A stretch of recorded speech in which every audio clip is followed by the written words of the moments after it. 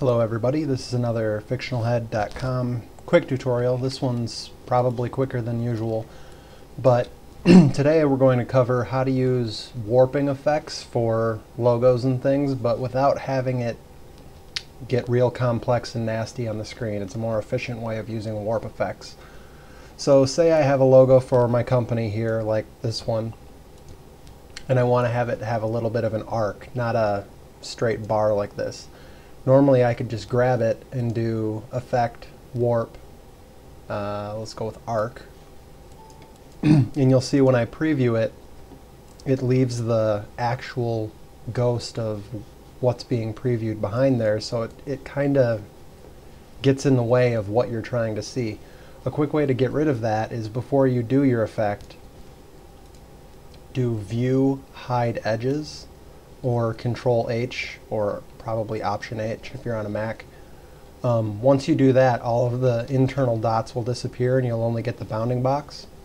once you have that, do Effect, Warp, and pick your effect and now you can see it's much easier to tell what's going on. You're not obscured by all the dots of what's actually in your illustration.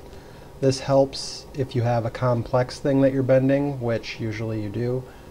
Um, it also helps so that when, once you have your effect, if you go to apply a different effect, like, let's not do the same one here. Um, you just see the final result. You don't end up seeing any of these nasty points that get in the way. So then once you have your multiple effect, which um, under window appearance, you can have your appearance here. It'll show you your multiple effects. If you wanted to do the um, rearrange them, at least I thought you could rearrange them. Guess not. Um, it shows that you did the arc and then did the fish and you can double click any of them to bring them back open to uh, continue playing with them. So let's say that's my logo. Then once I'm done with that I can hit control H to get the normal points back or um, what I usually do is I keep a version and I just alt drag that to get a copy. I keep a version where my effects are live and then for the final version I do object expand appearance and what that does is it makes the effect effectively live and then it changes all the points to match those effects.